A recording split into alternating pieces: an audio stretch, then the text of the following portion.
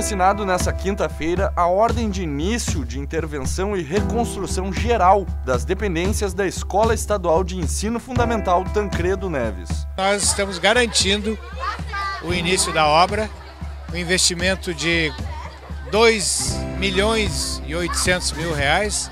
A escola ficará totalmente nova, garantindo um espaço de dignidade para os nossos alunos e nossos professores. A escola tem cerca de 400 alunos e 21 professores.